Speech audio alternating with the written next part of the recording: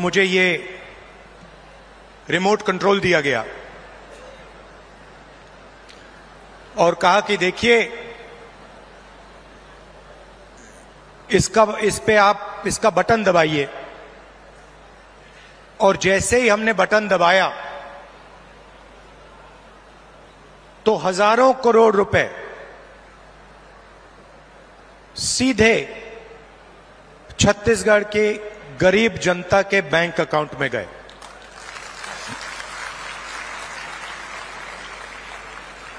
ग्रामीण आवास न्याय योजना में तकरीबन पचास हज़ार लोगों को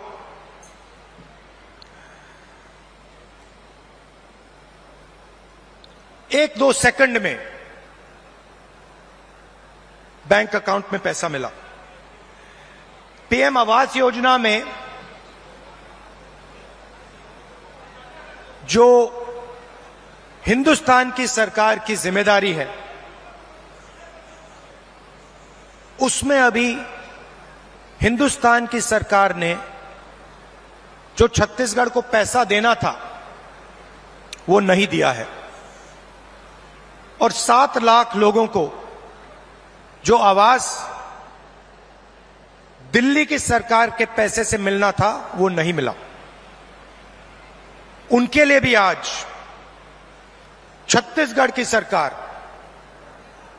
पैसा दे रही है। बहुत बार छत्तीसगढ़ की सरकार ने दिल्ली की सरकार से रिक्वेस्ट किया, आपकी जो ज़िम्मेदारी है उसे आप पूरा कीजिए, मगर दिल्ली की सरकार अपनी ज़िम्मेदारी नहीं निभाती है। आज तकरीबन 1200 करोड़ रुपए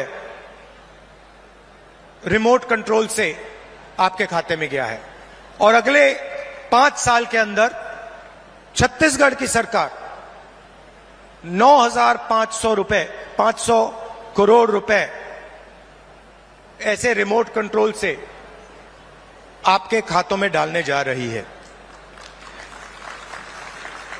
हमने चुनाव में आपसे दो तीन वायदे किए थे। छोटे वायदे नहीं थे। छत्तीसगढ़ को बदलने वाले, छत्तीसगढ़ की नींव को मज़बूत करने वाले वायदे थे। किसानों का कर्जा माफ़, बिजली बिल हाफ़, और 2,500 रुपए प्रति क्विंटल धान के लिए। हमने ये वायदे किए और देश के प्रधानमंत्री नरेंद्र मोदी जी ने कहा कि कांग्रेस पार्टी इन वायदों को पूरा नहीं कर सकती है। सच्चाई आपके सामने है। हमने जो वायदे किए थे हमने उनको पूरा किया। किसान न्याय योजना में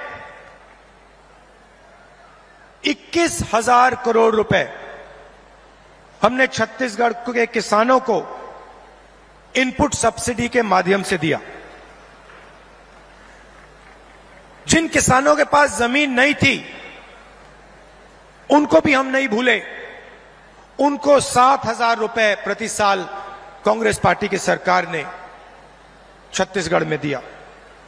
आदिवासियों को एमएसपी फॉरेस्ट प्रोड्यूस के लिए और देश में सबसे बेहतर फॉरेस्ट राइट एक्ट का इंप्लीमेंटेशन छत्तीसगढ़ की सरकार ने किया। स्वास्थ्य में पाँच लाख रुपए परिवार के लिए सत्तर लाख परिवारों को फ़ायदा मिला। 380 अंग्रेज़ी के स्कूल खोले। और बयालीस हज़ार वैकेंसियाँ भरी।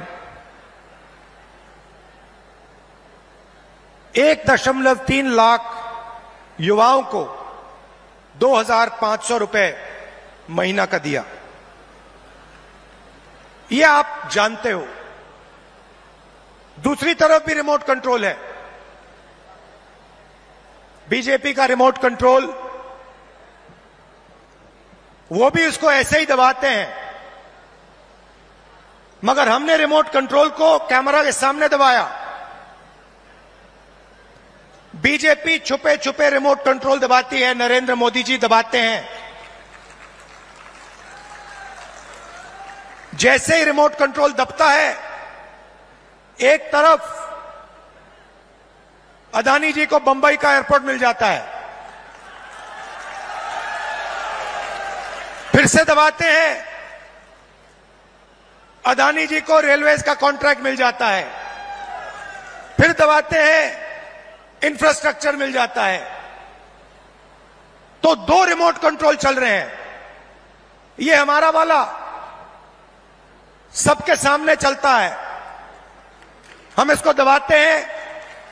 किसानों के खाते में पैसा जाता है।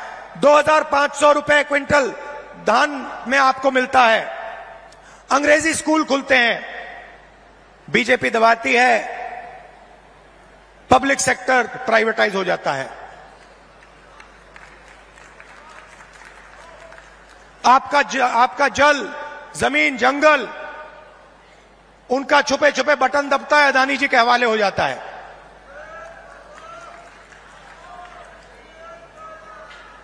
तो दो तरीके के रिमोट कंट्रोल हैं। अब मैंने उनके रिमोट कंट्रोल के बारे में पार्लियामेंट में बात उठाई। मैंने नरेंद्र मोदी जी से पूछा कि मोदी जी, आपका अदानी जी के साथ क्या रिश्ता है? डिफेंस में अदानी जी को पूरा का पूरा फ़ायदा पोर्ट्स में पूरा फ़ायदा एयरपोर्ट्स में पूरा फ़ायदा। आपने पाँच किसानों के कानून, काले कानून बनाए। उसमें, उनमें उनको फ़ायदा देने की कोशिश की। तो मैंने उनसे पूछा, नरेंद्र मोदी जी, आपका रिश्ता क्या है? उनके हवाई जहाज़ में आप जाते हो। रिश्ता क्या है? जवाब मिला मेरी लोकसभा की सदस्यता रद्द कर दी।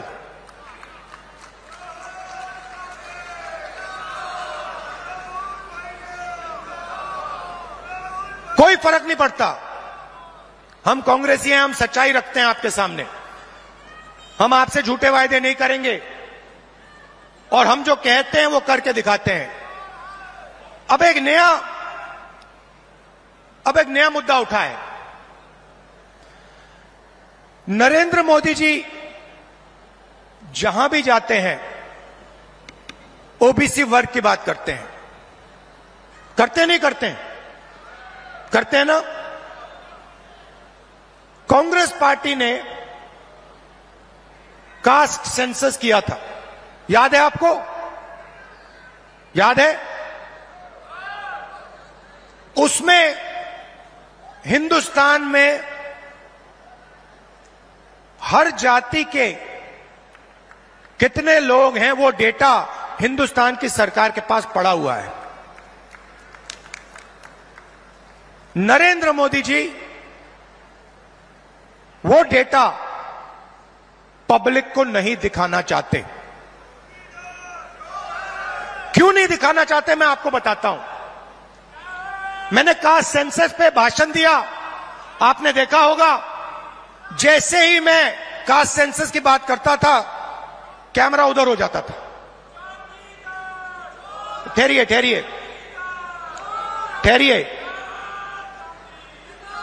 जैसे ही मैं कास्ट सेंसस की बात करता हूँ, लोकसभा में बात की, वैसे ही कैमरा उधर हो जाता है। मैंने एक आंकड़ा निकाला। हिंदुस्तान की सरकार को एमएलए और एमपी नहीं चलाते हैं। हिंदुस्तान की सरकार को सेक्रेटरीज और कैबिनेट सेक्रेटरी चलाते हैं। इस बात से आप सहमत हैं? सहमत हैं? कोई भी योजना बनती है जो 90 सेक्रेटरीज हैं, हिंदुस्तान की सरकार के हर मिनिस्ट्री में वो योजना को डिज़ाइन करते हैं, कितना पैसा कहाँ जाएगा, वो डिसाइड करते हैं। तो मैंने देखा, मैंने चेक किया कि भैया इन नब्बे लोगों में से नरेंद्र मोदी जी की सरकार में पिछड़े वर्ग के कितने लोग हैं?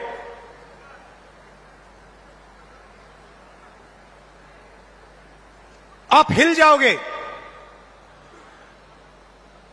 नब्बे लोगों में से सिर्फ़ तीन लोग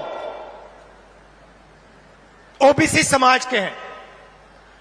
और वो तीन लोग हिंदुस्तान का सिर्फ़ पाँच परसेंट बजट कंट्रोल करते हैं।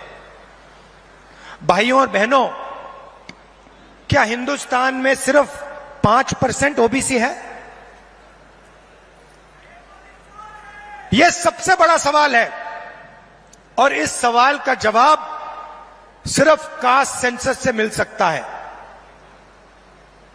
किसी को चोट लगती है, अस्पताल में जाता है, सबसे पहले एक्सरे होता है। पैर में चोट लगती है, डॉक्टर एक्सरे कर, एक्सरे करवाता है, कहता भैया, देखते हैं क्या हुआ है, कैसी चोट लगी है, पैर टूटा है या नहीं टूटा है? भाई और बहनों का सेंसस हिंदुस्तान का एक्सरे है। इससे पूरे देश को पता लग जाएगा कि ओबीसी कितने हैं, दलित कितने हैं, आदिवासी कितने हैं, महिलाएँ कितनी हैं, जनरल कास्ट के लोग कितने हैं। और एक बार ये डेटा हिंदुस्तान की जनता के हाथ में होगा तो फिर देश सब लोगों को लेकर, सब लोगों को भागीदारी देकर आगे चल पाएगा। अब मैंने यह सवाल लोकसभा में पूछा। नरेंद्र मोदी जी से पूछा कि आप कास्ट सेंसस से डरते क्यों हो? कास्ट सेंसस का डेटा सबके सामने रख दो। जो आपकी सरकार की सच्चाई है, आप हिंदुस्तान की जनता को दिखा दो। डरो मत। मगर नहीं, उनके मंत्री कहते हैं, हमारे ओबीसी के विधायक हैं, ओबीसी के सांसद हैं, और उन्हीं सांसदों से आप लोकसभा में बात करो, वो आपसे कहते हैं कि भैया देखो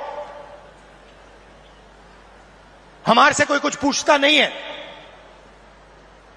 हम कुछ बोल नहीं सकते। हमें तो यहाँ मूर्ति जैसे रखा हुआ है।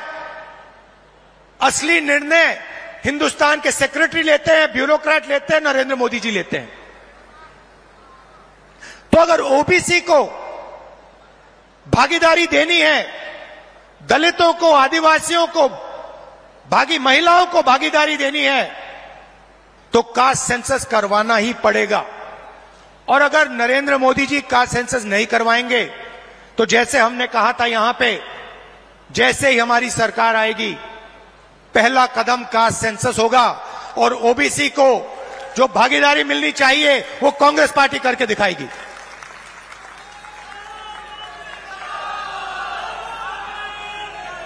आप सब यहाँ आए दूर दूर से आए, हमारी बात सुनने आए। आपने अपना कीमती समय हमें दिया। इसके लिए दिल से बहुत बहुत धन्यवाद। और एक बात मैं कहना चाहता हूँ, खत्म एक बात कहना चाहता हूँ। देखिए, कांग्रेस पार्टी जहाँ भी सरकार चलाती है, चाहे वो राजस्थान हो, हिमाचल हो, छत्तीसगढ़ हो कर्नाटक हो। हम जनता की सरकार चलाते हैं। कर्नाटक में हमने पाँच वायदे किए। ऐतिहासिक वायदे। चुनाव जीतने के एकदम बाद कैबिनेट ने पाँचों वायदे पूरे कर दिए। छत्तीसगढ़ में हमने वायदे किए थे। पहली कैबिनेट मीटिंग में हमने वायदे पूरे करे। और यही हमने हिमाचल में किया, यही हमने राजस्थान में किया। हम आपसे पंद्रह लाख वाले झूठे वायदे नहीं करेंगे। और हमारा रिमोट कंट्रोल जो चलता है, सबके सामने चलता है। हमारी अदानी जी की सरकार नहीं है। हमारी किसानों की, मजदूरों की, दलितों की, आदिवासियों की, पिछड़ों की, कमज़ोर वर्गों की सरकार है। बहुत बहुत धन्यवाद। नमस्कार। जय हिंद।